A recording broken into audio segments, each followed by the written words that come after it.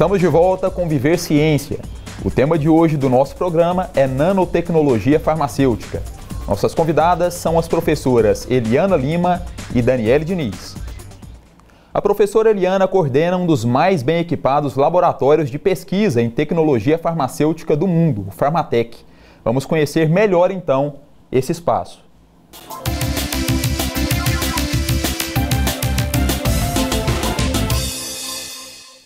Farmatec é um laboratório de pesquisa também vinculado a algumas atividades de extensão, onde nós trabalhamos junto com empresas do ramo farmacêutico, majoritariamente, e ele está vinculado à Faculdade de Farmácia da Universidade Federal de Goiás.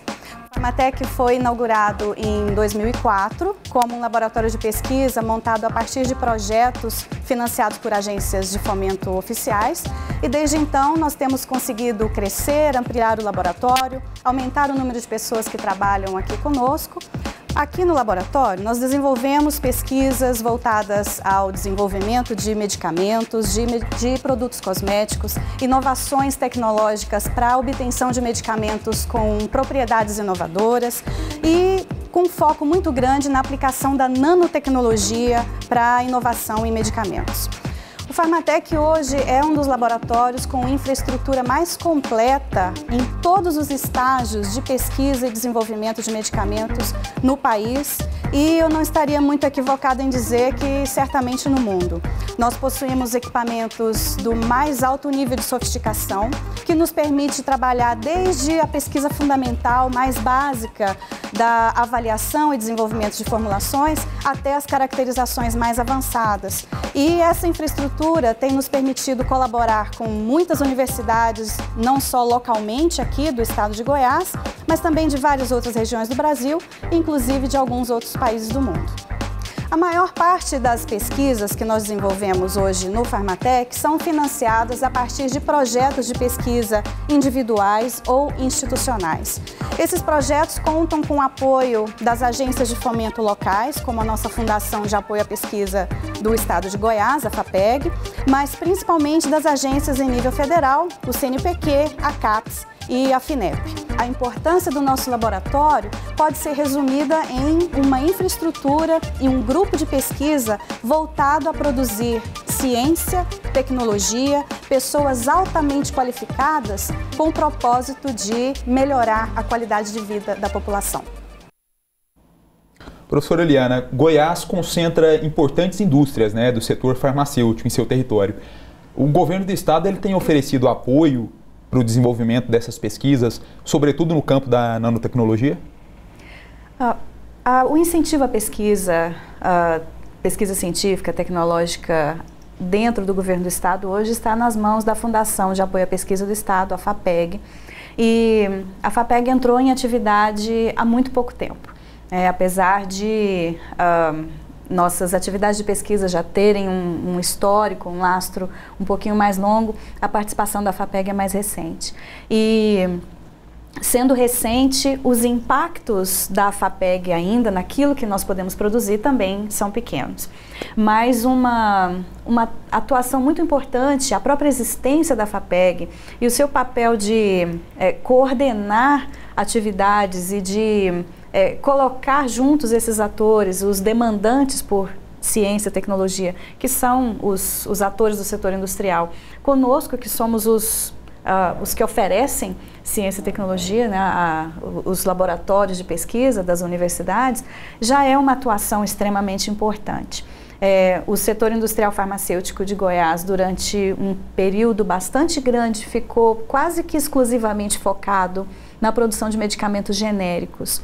Isso, por um lado, foi muito bom, é, provocou o crescimento do parque industrial dessas, dessas empresas, mas, por outro lado, reduz um pouco as inovações tecnológicas.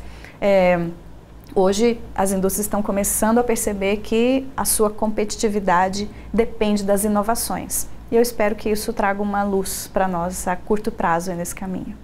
Professor, em uma de suas pesquisas aí para o tratamento do câncer, você acabou descobrindo acidentalmente que a nanotecnologia ela pode ser útil para eliminar agentes poluentes do solo e da água, não é isso? Fala um pouquinho para a gente sobre esse estudo.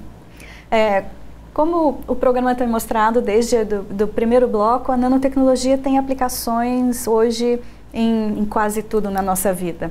É, tecidos, máquinas de lavar, secadores de cabelo, uh, desodorantes, filtros solares e assim por diante. Isso saindo um pouquinho da, da questão do medicamento. Né? E eu estive, eu, eu, tive o privilégio de, durante o período do segundo semestre de 2014 até o início de 2015, participar de um grupo de pesquisa é, dentro de um laboratório dos mais desenvolvidos no mundo, no Instituto de Tecnologia de Massachusetts, onde nós trabalhamos com um polímero, que é um material que foi elaborado para produzir nanomedicamentos, mas que não deu certo. Acidentalmente, o fato de não ter dado certo uh, poderia ter gerado ali um descarte de laboratório. Mas então veio aquela ideia. Normalmente nós utilizamos esses materiais, esses polímeros, para colocar um medicamento dentro. Pensamos então por que não fazer uma partícula com esse polímero vazia e ver se ele é capaz de capturar, de atrair aquele medicamento que poderia estar dissolvido, por exemplo, num uh, resíduo, num efluente industrial. Testamos isso, não só com medicamentos, mas com, mas com alguns outros resíduos de indústria química, é, agrotóxicos, né, os pesticidas, e observamos a capacidade daquele material em capturar essas substâncias contaminantes poluentes. É, o resultado foi extremamente promissor.